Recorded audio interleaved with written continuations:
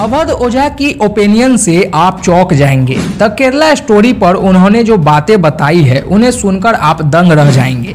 आपको बता दें, अवध ओझा सर का कहना है कि इस्लाम धर्म के कुरान के बारे में अगर आप कुछ भी बोलते हो या बोल दिए हो तो वे लोग सर कटने और कटाने के लिए तुल जाएँगे।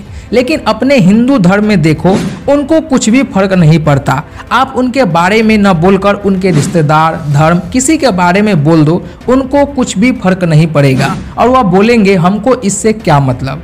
द केरल स्टोरी, समय मिले तो इसे ज़रूर देखना। उसमें किस तरह से हिंदुओं, लड़कियों को ट्रैप किया जाता है और लव जिहाद में फंसाया जाता है।